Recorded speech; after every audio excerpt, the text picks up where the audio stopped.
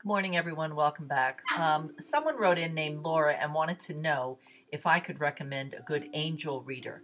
I really don't have a recommendation for a good angel reader. You know, I'm, I'm, I'm a skeptic, as you know, when it comes to doing this work, and I'm all about the evidence and the proof in the here and now.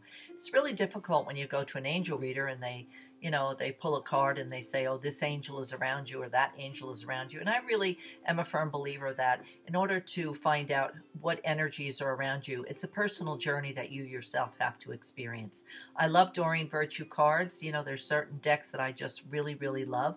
And I will tell people, you know, just get a deck that calls you an angel card deck from Doreen Virtue and pull, um, you know, set the intention because everything in the metaphysical world is, is through intention open the deck every morning, you know, spread the deck out and set the intention that you want to pick a card uh, with an angel who will stay close to you that day and a message that you need.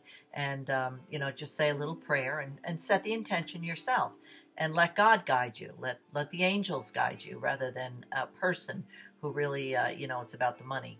So you just do that. You pick a card, and uh, and it's amazing sometimes because people always seem to pick the right card. Okay, so um, when I do my meetups at the center, I have anybody come here, any groups come here. I always keep a deck of Doreen Virtue cards out, spread.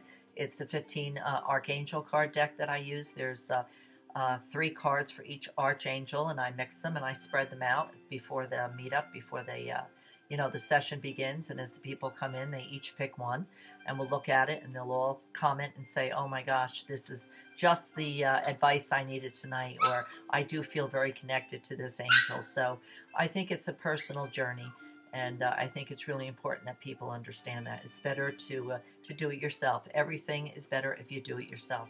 Personal journey that you yourself have to share between God and spirit. So I hope that answers your question. And as always, I leave you in God's love and light.